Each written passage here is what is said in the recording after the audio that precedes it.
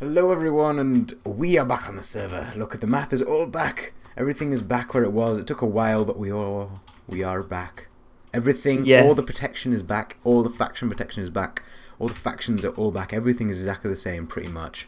Inventory is the same. And yeah, just come on, come back on. Everything's back to normal, and we'll be faster. And look at the server list. There are 70 maximum people. These are random people from the internet who Interweb. Interwebs that um, Ollie seemed to magically employ.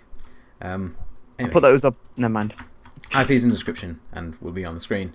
It's a new IP, just so you know. Yeah, new IP again. Again. So, so everything will be saved, obviously, and uh, the new world height is there. So Geraldo, come on and build something epic.